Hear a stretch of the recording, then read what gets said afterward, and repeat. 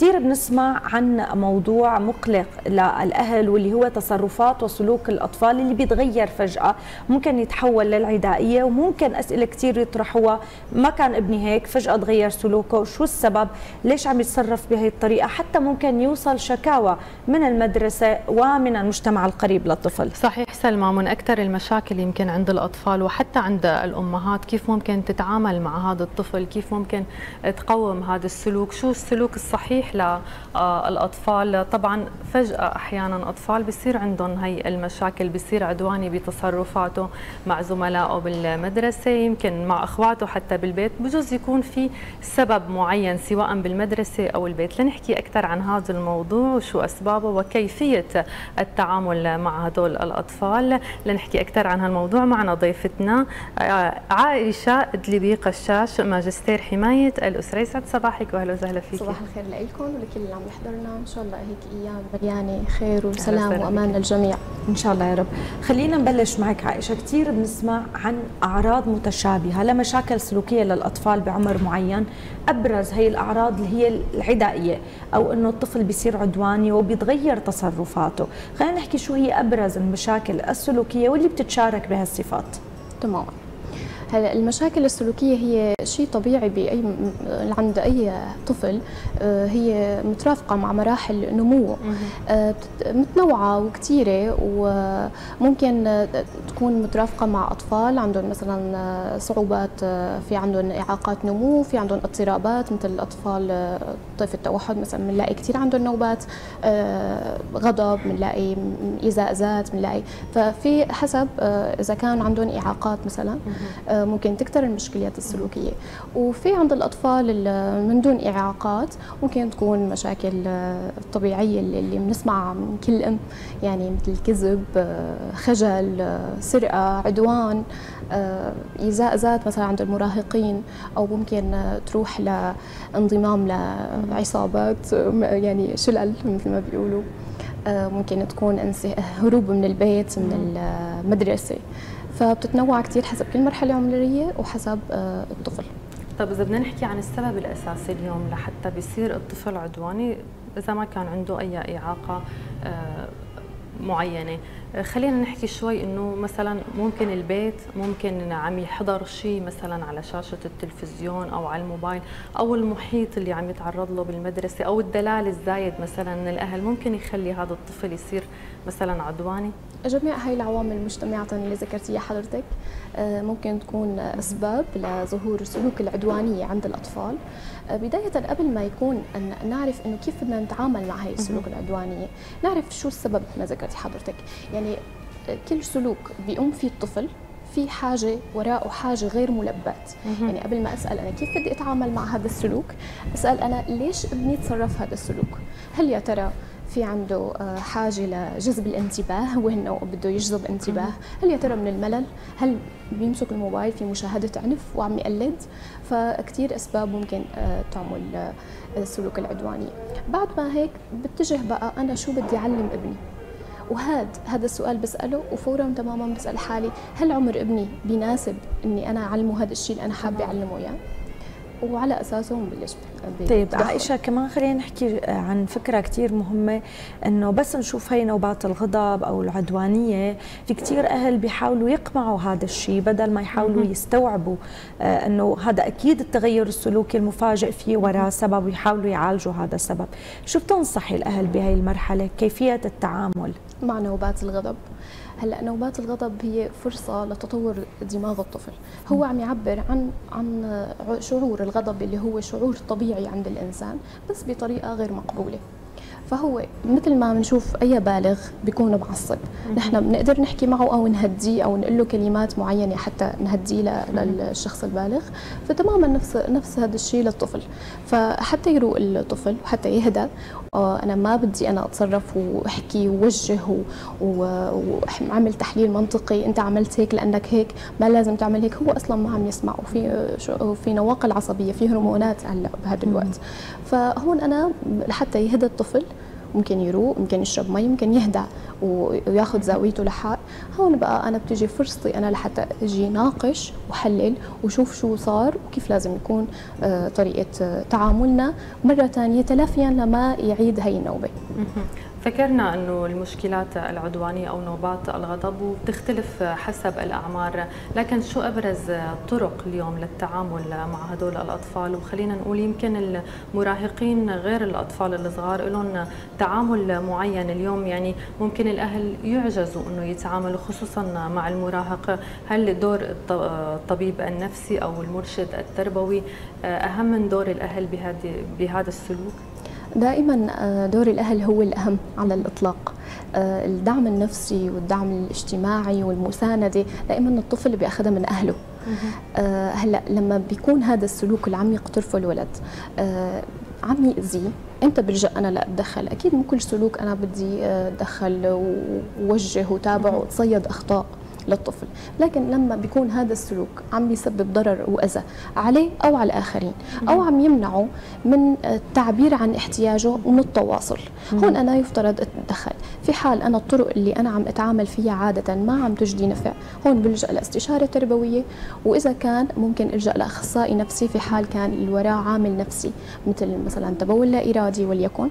آه ونفينا الناحية الطبية مشاكل بولية ما في اضطراب عصبي ما في فإذا كانت القصة مثلا ناحية نفسية هون أنا بلجأ لأخصائي نفسي لحتى نتابع مع بعض ببرنامج تدخل وعلى أساسه ممكن الماما شوي شوي لحتى هيك تكون خبرة بتصير هي بتتعامل مع بقية السلوكيات من نفس المستوى. أكيد. طيب خلينا اليوم بعض الأهل بيتركوا الطفل مع الأخ الأكبر أو الأخ اللي بعد اللي هو المراهق بيكون بقلب العائلة مع الطفل. كيف فينا كمان نوجه المراهقين للتعامل مع أطفالهم بقلب العائلة مع أخواتهم؟ لأنه هذا كمان جزء مهم يعني تم الحديث عنه إنه كمان هذا له دور برد الفعل على كيف ممكن يتصرف مع العدوانية. هل بيضربه هل بيسكت؟ هل بيوجه نصيحة؟ بتقصدي المراهق يتعامل مع أخوه الاصغر منه ذكرتي نقطة كثير مهمة وشكرا لك لأنه المراهق تحديدا لما آه، نحن بنعامله كأنه طفل مثلا إنه ما عم نعرفه عم يكبر ما عم نعرفه إنه صار شاب. مرات بنعامله على إنه صرت شاب ما مقبول منك هذا التصرف وما تتدخل بأخوك. مرات بنعامله إنه أنت الأخ الكبير وأنت شوي في لخبطة. أكيد كثير منيح إنه نحن آه، نشركه لابننا المراهق بإنه بالمساهمة مع مع بقية إخواته. يعني مو بتربايتهم ما بالضرورة تربية لأنه ممكن ياخذ دور المتسلط دور أنا الكبير دور أنا اسمع لي كلمتي. وخصوصي إنه هو بمرحله عم يمرق لحتى آه، يظهر استقلاليته وخرق القواعد وهي القصص اللي هو بارز موجود.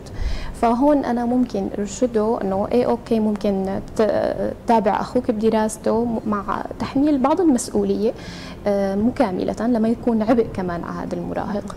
وإشراكه باتخاذ القرارات بالمشكلة اللي عم نعاني فيها. مثلا آه، ممكن نحكيها قدام الكل. ممكن نحن ندخله شوي شوي. فهو ممكن يصير يساعدنا بهذا التوجيه أخوه الأصغر منه. توجيه وليس تربية.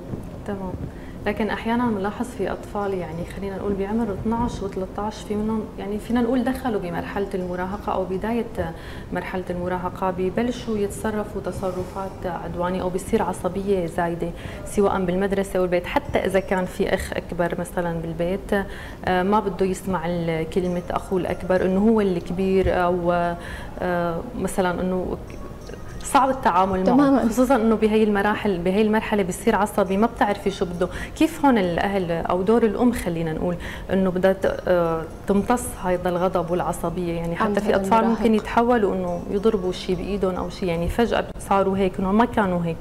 تماما. هلا مرحلة المراهقة هي مرحلة يعني بين الطفولة وبين الرشد.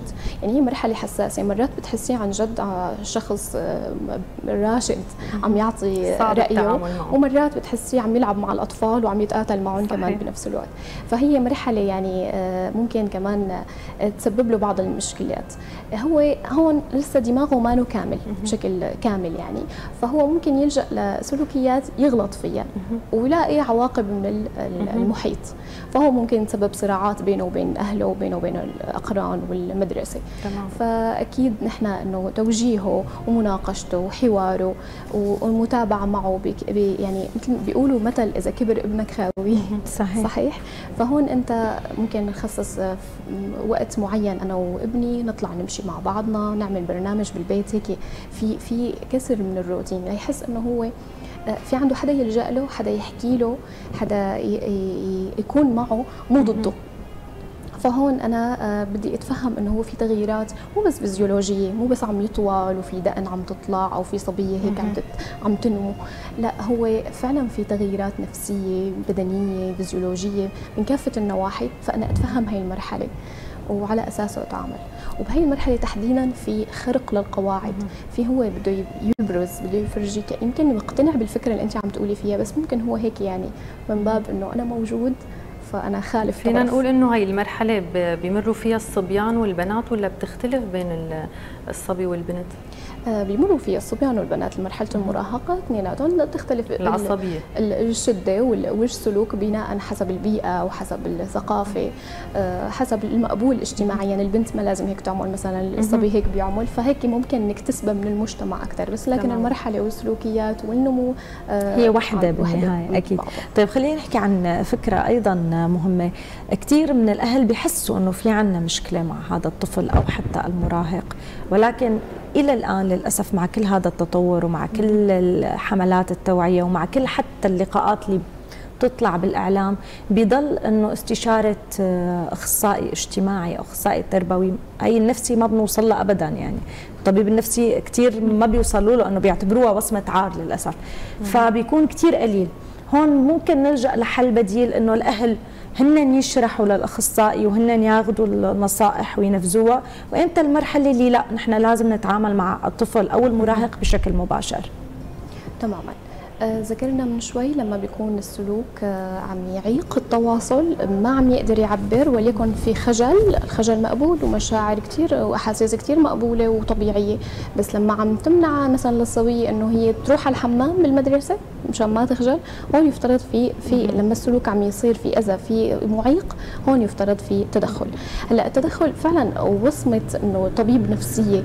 آه نحن بس نقول طبيب يعني أدوية والأدوية كمفهوم خاطئ إنه رح تعمل ادمان وأنا ابني ما بده وما بحاجة. آه لا آه كثير طبيعي يعرضوا على أخصائي. أخصائي هو ممكن يرشدنا حتى استشارة تربوية. الماما لما عم عم تحكي هذا الشيء مرة على مرة مرة على مرة رح تكون الموضوع هين. هي بس آه، تقتنع أو تعدل اتجاه هذا الشيء. أنا لما ما عم بقدر وليكن طبخة. أنا لما ما عم بقدر أعرفها ما بفتح يوتيوب وبتعلم. صحيح. تماما نفس الشيء. أحيانا السلوك والطفل ما ما نو واحد زائد واحد يساوي اثنين. ما التربية كيمياء يعني بتحطي آه، شيء بيطلع شيء لا. آه، كل طفل شيء وكل فنية ممكن ما تزبط مع هذا الطفل تزبط مع هذا الطفل. فاستشارة أخصائي كثير حالة طبيعية. لهيك نحن بنشتغل كثير على التوعية بهذا المجال. خلينا نحكي اليوم عن دور المديح سواء بالمدرسة أو بالبيت. هل هذا المديح بيخلي الطفل يصير شخص مدلل؟ ما بقى يسمع الكلمة ولا ممكن يفيد خصوصا الأطفال اللي عندهم هي نوبات الغضب؟ تماما. هلا المديح آه، هي فنية تعزيز آه، تستخدم ولها كثير نتائج فعالة باستمرار السلوك الإيجابي يعني سواء هو عنده عادة منيحة وانت عم تمدحيه فاستمر السلوك الإيجابي أو بتعديل السلوك المانو مرغوب. اللي بنسميه مانو مرغوب أو سلوك التحدي أو سلوك الصعب بتختلف تسميته. فالمديح بس يكون له شروط.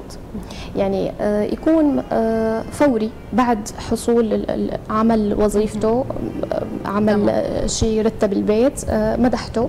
أكيد ما بعد أسبوع فما راح يكون له نتيجة. يكون عم تمدحي التصرف وليس الشخص. يعني ما تقولي عائشة قوية. أنا رح يجي وقت ويكون ماني قوية. رح يكون أنا تصرفت بهي الطريقة فمعناها أنا شطورة. أنا يعني نذكر بدقة شو تصرف مدح السلوك وليس الشخص. ودائما آه نحن لما نمدح يعني ممكن نفرجي للعالم يعني بحب الولد إنه هيك ابني ساوى هيك ابني عمل. ما نوقع بأخطاء بالمديح مثلا نقول أنت عملت هيك كثير منيح بس هي بس مدمرة. خلينا هلا بالسلوك اللي عمله. خلينا إنه هو رتب رتب خز... رتب ثيابه بقلب الخزانة. يعني كمان نحدد بدقة. بس ما طلعت لا ما, ما في داعي. فما رح تطلع منه مدلل لو استخدمناه بطريقة كثير صحيحة. ونوعنا بالفنيات مو بس بالمديح. أكيد. كمان العقاب يعني كمان العقاب بطريقة خاطئة أو بطريقة غير صحيحة كمان بيأثر على سلوك الطفل. إحنا بنعرف هي نظرية الثواب والعقاب قديش مهمة. ايمت الأهل يستخدموا العقاب وايمت يستخدموا الثواب. ولكن أوقات كثير بيكون العقاب موجه لسلوك رد فعل مثل ما بيقولوا. وأوقات كثير بيكون مزبوط ومضبوط وهو ضروري يعني لحتى تضل في حدود يعني. شو رأيك بهالموضوع؟ تماما.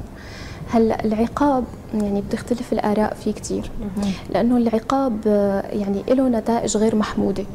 فأنا أعلم الطفل عواقب الأمر وليس العقاب. يعني المراهق لما بتتأخر عن البيت ما ممنوع تتأخر على البيت وإلا بكرة ما رح تروح على فلان مطرح لأنه رح تتأخر عن البيت وبالتالي رح تقل فترة الراحة اللي أنت رح تنامها.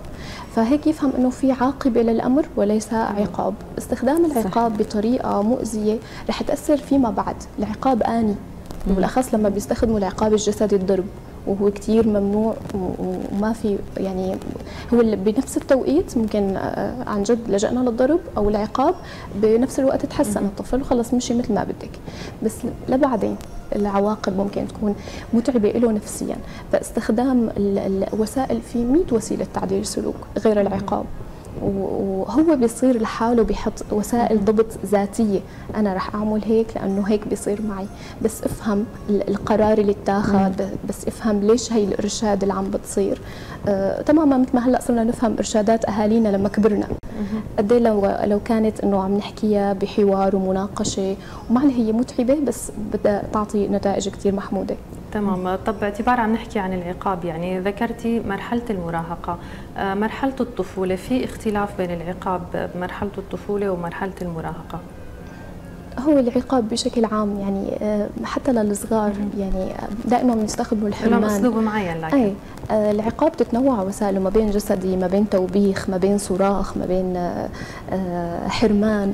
حتى الحرمان مع إنه هي فنية مقبولة ممكن إنه ما عمل أخذت المو... انحرمت من الموبايل مثلا. لمدة ساعة لأنه هيك. بس استخدامها ب... ب... بطريقة دائما أحيانا الماما بتعلق على فنية معينة إنه تعلمتها من استشارية من تربوية.